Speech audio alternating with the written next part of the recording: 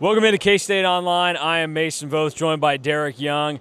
Believe it or not, the Wildcats won a basketball game tonight. It did not look like they were going to do it multiple times throughout the course of this game. Then there were moments where it looked like, oh, this team is going to win and it just didn't ever go the way you thought it would. I I don't know that I've seen a K-State win that I felt like was more stolen at the end of the game, but it's odd because I don't want that to discredit what K-State did because they played just as well if not better than Baylor and deserved to win this game by the way they played, but based on what the scoreboard said and the time situation, it did not compute in my brain how they were able to overcome it, but they did. And I, there's a lot that I took away from this game as a positive for K State. So we'll dive into all of it. But what, what's the, the generic thoughts to start things off?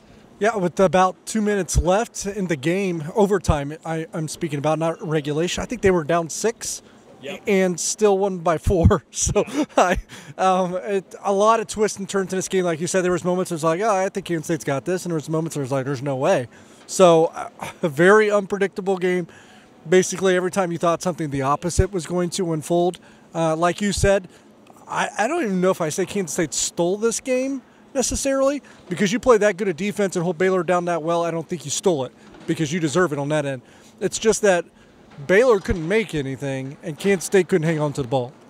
And we know that Baylor has shot poorly from three in Big 12 play, but I will say this I can't attest to what Oklahoma State and Cincinnati did defensively. That may have just been Baylor missing shots. Tonight, there were only a handful of times where it felt like to me that Baylor got an open, really good look, and I thought, oh boy. Outside of that, it was K State's defense that forced Baylor to shoot it so poorly from three and give the Cats a chance on the other end. And I, I will say this for as bad as K State has been shooting the three point shot this season, you're going to give yourself an opportunity if your defense is so good that you make other teams shoot the ball like you do, and that's what they did to Baylor tonight. Yeah, I, I think there was a, there a few of them were late, which had us holding our breath a little bit. Uh, the, the times that they did get open, but I also think that was kind of a fatigue factor setting in for Kansas State because you could tell in some of those offensive rebounds that they surrendered to uh, Baylor that you could, they were also ball watching, uh, legs getting heavy.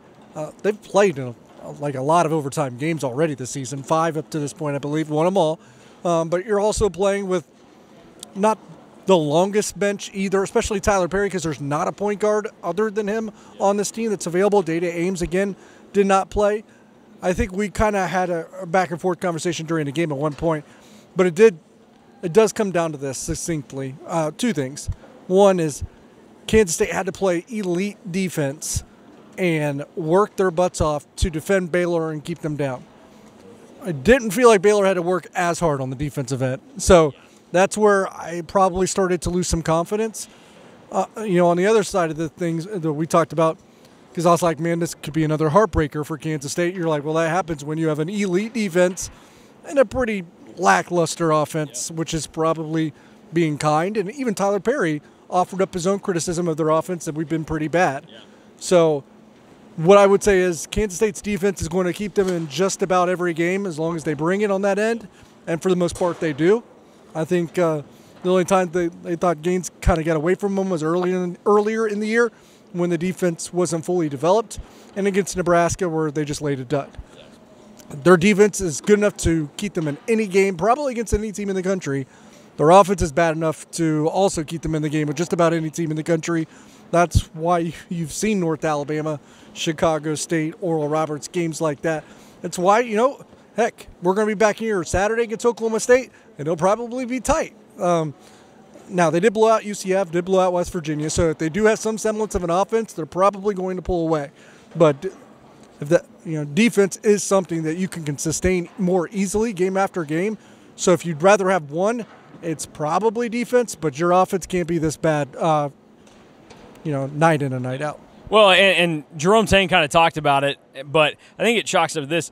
K State, their defense is so good that it puts them in a position to be either a really good team or possibly one of the most frustrating, if not the most frustrating, K State basketball teams to watch over the last 15 years now because the defense is at a level right now. I mean, they're they're inside the top 40, getting close to inside the top 30 in defensive efficiency. If you look at what they've done, really, probably if you chop out that first part of the season where they're trying to figure it out, it's not a stretch to say that this is one of the best defensive teams in the country. And I thought tonight they had to face kind of a different offensive set than what they're used to with Baylor, and they handled it well. And a lot of that's a credit to Jerome Tang and his staff for having the confidence in guys that could go out and get the job done. They were rotating, they were switching really well. And Scott Drew complimented the length after the game, too. He said K State's a team that had NBA length, and that's what made it tough on them. So K State executed really well. You mentioned the bench earlier. You got some performances from guys that we're not normally accustomed to. At this point, we are used to seeing Dorian Finister get out there on the floor. He's a dude now. Not maybe not in that sense, but yeah, no, yeah, but but he's a guy that they can count on. Yep, and he and he whenever he's in there, he has made some high energy, momentum swinging type plays. And then you think about the other guys that got in. R.J. Jones hits a big three in overtime. He had the he had the he had a pass to well, he had, he had, the, he had the kick out to Kaluma. Yeah, kick out to Kaluma off the offensive rebound from David N'Guessan. And then Jerrell Colbert got big minutes in the first half, saw six minutes in the second half, and he gave them a good boost. When Will McNair struggled in the first half, he was better in some areas in the second half. He got tough rebounds in overtime. Yep. Which was a good deal. So K State, uh, it's not consistent depth. It's not depth that's going to score a ton for you, but they are starting to find guys to where you at least have more guys coming off the bench that you trust in certain moments, and you can at least turn to if one guy is struggling, you can go from there. One other thing that I will point out from this game that I really liked, and who knows how much it means going forward, but I I really appreciate and respect this. After the game, I asked Tylor Perry about his shooting because, as we all know, Tylor Perry came in. He was billed as a great shooter. He was over 40% both seasons at North Texas. This year, he's under 33% still. He had another tough night from three, one of eight. The one three was awesome. More of that, more confidence, more transition, whatever, getting open looks. I asked him about it, and he gave an answer, and, and the answer was fine. What I really like, though, and what I think is a big step in the right direction about this team is how Arthur Kaluma stepped up immediately after and stepped in to defend Tylor Perry and talk about how the team still had his back and all these different things. So go watch the press conference if you haven't. But that impressed me because it may not mean anything in the grand scheme of things, but I think we're seeing a different type of team, a team that needs some leadership in moments. And tonight, what I saw from Arthur Kaluma was he was a leader on the floor by hitting the big three to win the game, essentially, for K State, and he was a leader off the floor with what he said in, in the press room. So I give major credit to Arthur Kaluma, and I think that's a huge step for this K State team. And, and I think it can mean it can actually mean something in the grand scheme of things because a team that cares about one another really grows together, and you get a little bit more cohesion and chemistry, and, and you still and you see better results when you like each other. You you have more fun, like you, you feel better about yourself. You play better. I mean that that's literally a thing, and you're starting to see that. I had the same takeaway when you asked that question, and Arthur Kaluma stepped up. He wasn't a part of that question. He wasn't a part of that answer. It could have been next question, next person asked. Instead, Arthur was like, you basically said, hold up, I have something to say. Um, so I, I took a lot from that as well. And I think it's a product of how this team's coming together as a whole because, you know, other that was the most significant part I took from the, the press conference in general. The next one was, you know, we heard a couple weeks ago when Jerome Tang said Taj Manning volunteered to go on the, the scout team and then the very next game, he has the, the big plays against Chicago State. You don't want big plays to beat Chicago State, but they needed it, and they got it from Taj Manning after he volunteered to be on the scout team. R.J. Jones volunteered to be on the scout team this week. Jerrell Colbert volunteered to be on the scout team this week. I, I think you're seeing this team, they're still going to make you pull your hair out, but they're coming together, and they'll probably have to win ugly a lot this year, but – typically when a team starts to come together like this, you see those moments, you see guys talk about each other this way, the selflessness that they're showing for each other. I don't know, you know, from a 1 to 10, 1 to 11 that this team is super talented. I think it's good enough to make the NCAA tournament. Their offense is capable of being better than it is, but I think they can reach their ceiling and maybe exceed their expectations and ceiling because of how they're starting to be selfless with one another. And I will say this the Kaluma thing about stepping up, defending Tylor Perry, not just letting it go, and obviously being somebody that cares about his teammates, and then the other guys being selfless and volunteering for the scout team and whatever else.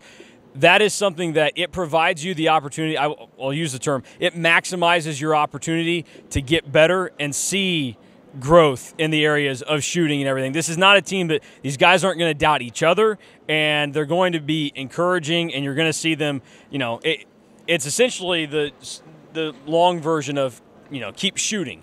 A- A guy like Tylor Perry, he's not going to have guys that don't make that extra pass to get it to him.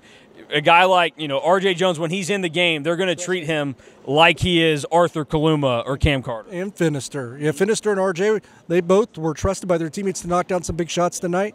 Um, that that's a big thing. What I will say is, do you see the product of this kind of coming together like this?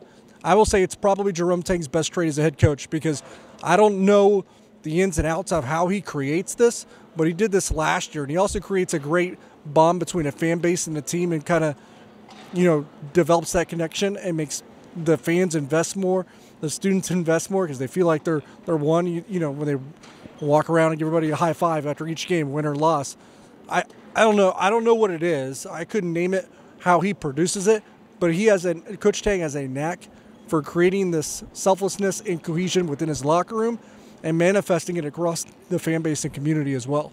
I had non K State fans texting me after this game, complimenting Jerome Tang and saying that this is what makes Jerome Tang so impressive and proves that he's a, the real deal. Is that this team, in a much different way than last year, different circumstances, all that, he's still finding ways to make them competitive and also obviously succeed in some ways. They'll get another chance to succeed in front of the home crowd on Saturday, 6 o'clock with Oklahoma State. We'll see how that goes. Good chance for a double feature, too, if you're in town early, because the K State women play KU at 1 o'clock. Uh, so the number seven ranked team in the country. After they go on the road and play TCU tomorrow night, they're back here in Bramlage as well. two things. I'm not I, typically someone that bangs the attendance drum, but the women's basketball team is probably worthy of people coming out. They're a good watch, and they're number seven in the country. I mean, it's an entertaining brand of basketball too. So I, you know, they're deserving of that, um, and and they're going to play better in a packed house too, just like the men would, right? Because this place, this place was buzzing tonight. Secondly, I would say, I think I've said this probably 20 times, written and on shows the last two weeks. That four and one is on the table Yep. maybe not the conventional way of doing it because it involved being a top 10 team, but 4 and 1 is on the table, and all you got to do is be one of the worst teams in the Big 12. Yeah, just don't be that team that loses to Oklahoma State because I am. I'm. I'm not trying to, you know, jinx anything. Oklahoma State is capable of going 0 and 18 in the Big 12, and I didn't think we'd see a team do that since TCU. I mean, they were putrid against KU tonight at home. Uh, Mike Boynton is a is a clown show uh, of, of a coach, probably a really nice guy. Always seems like it, but He is a really nice guy. the dude's just not cut out for uh, the Big 12, it would appear. So he, what kind of dog is Mike Boynton in Kelvin Sampson's view? Uh, am I missing something here? I don't know. Oh, you, Kelvin Sampson's quote about you know he doesn't in the AAC. There was a dog park that he, you know, all this about being the top dog and nobody scared him in the Big 12. Everybody's like a big dog and all this. I, I guess I would say that that probably makes Mike Boynton like a cat or something. He's not even a dog. So Yeah, well, Houston's having a rough introduction to the Big 12 out on the road, but everyone's having that done to them. Yep, that's why we talked about it. It's important for K State how they're playing right now. If you can defend your home court and do what they did last week, where even a, you get a split on the road, you win a handful of road games, defend home court, you're going to make yourself an NCAA tournament team. They got the much needed quad one win. They need a few more, but they, that's their first one. Hope Villanova maybe get, plays some pretty good basketball coming up.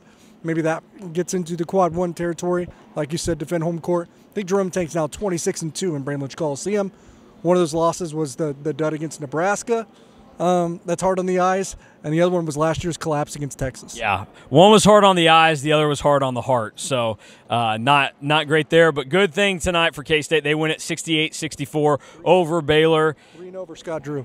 Uh, Scott Drew, I don't know. Might might watch out. I did say after the game, I hope that he loses every time he plays Grant McCasland now because it would just be funny if he cannot beat guys that he employed at one point. So we'll see how it goes. Out for North Florida. Driscoll coaches there, right? Oh yeah, yeah, and better not put Wichita State on the schedule. There's a lot of scary teams out there for for Scott Drew. That he's been that good of a coach that now he's bred a whole crew of coaches that can come and uh, beat him.